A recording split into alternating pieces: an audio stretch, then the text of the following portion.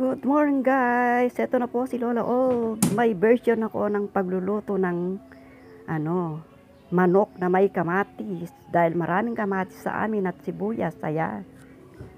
Tapos po, ilalagay, igigisa po natin yung manok na binili ko. Ayan.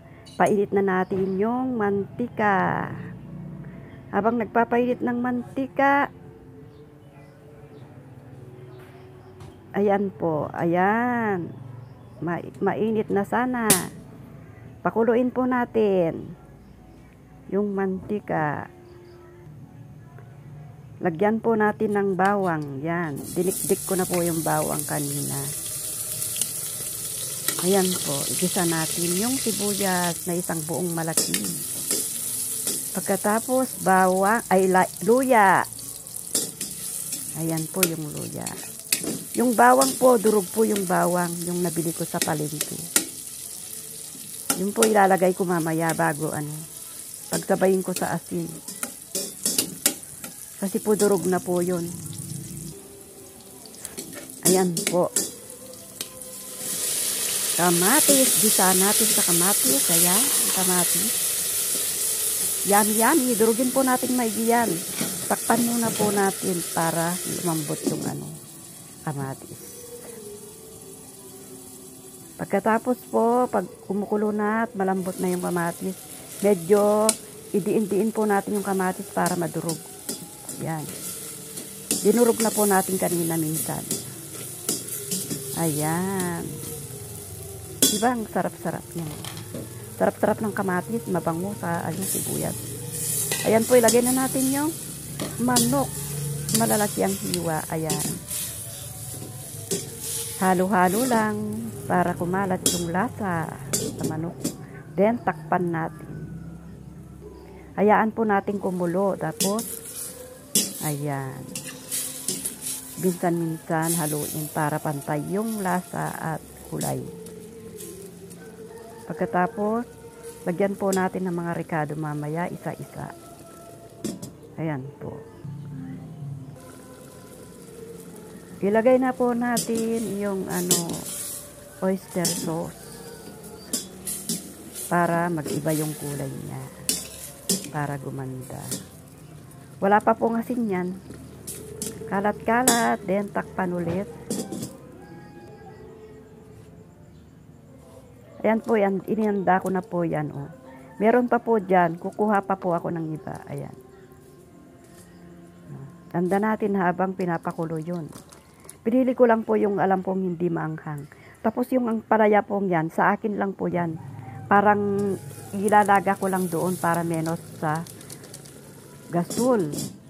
Para sa akin lang po, hindi ko na po siya hiniwa. Ayan. Halo-halo lang. Ang bango pa po niya. Naamoy ko yung ano, kaya po malapot yan dahil po sa tomato. Yan. Imbes na tomato sauce, kamatis na breast ang inilagay ko.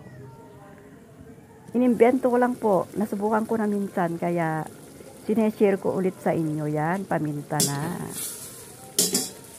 Pamintang buo po ang gusto ko. Ayaw ko ng durog. Para di manghang masyado. Ayan. Bawal po sa akin ang manghang eh. Ayan, nilagyan na po ng kanela at saka yan. Yan po yung curry powder na binili ko sa palengke. Medyo may anghang po yan ng konti. Kahit bawal po sa akin ng manghang, basta konti lang, hindi pa minsan-minsan lang ganun. Lagyan na po natin ng tubig para lumambot yung manok.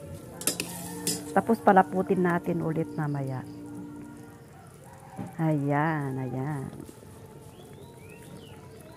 Sarap. Lagyan po natin ng asin, pampalasa. Kasi natikman na po natin kanina, kulang siya ng asin.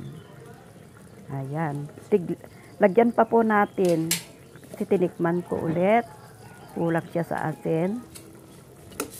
Ayan. Huwag po masyadong maalat para hindi tayo magkasakit sa bato. Hinay-hinay lang po sa asin. Ayan po yung ginagamit ko. Binili ko lang po sa tingi-tingi dun sa palengke. Mura lang po siya. Yan. Masarap po. Ayan. Lalagay po natin ito. Hindi ko na po hinati. Sabi, kagaya ng sinabi ko kanina. Para hindi kumalat yung pait. Ayan po. Tapos mamaya isusunod natin yung pag nag-half cook na po, isusunod natin, yan na po, isusunod na natin yung ano, half na siya. Ayan, yung sili. Ayan po. Tikman natin. Yan, takpan para tignan natin kung maluto yung ano. Tignan po ninyo.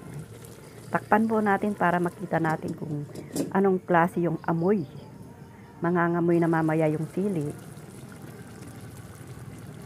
Ayan, kulo-kulo na. Ang bango. Nagkaroon po siya ng amoy ng naghalong curry powder at saka yung ano, sili. Ang bango po niya. Pwede lang sana lagyan ko pa ng gatas pero hindi na. Ayan po, half cook na. Yummy, yummy. Kain na. Bye-bye. Maraming salamat, viewers and subscribers.